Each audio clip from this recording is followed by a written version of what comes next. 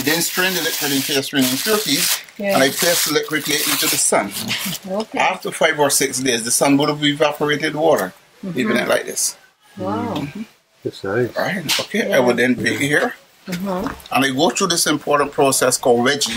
Yeah. Yeah. It's like kneading dough for Yeah, bread. it does. Yeah. Put that in the So, oven yeah, afterwards. it takes care of any air uh-huh. and also evens the clay body to one consistency. Mm-hmm. I would normally give it over 50 of these wraps. okay. Now we'll make it into this cone shape.